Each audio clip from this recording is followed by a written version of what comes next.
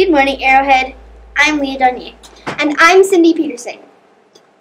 Today is uh, January 6, 2017.